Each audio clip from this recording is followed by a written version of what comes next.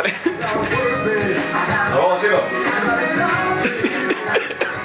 tienes que de energía mejor, como antes. Ahora eléctrica.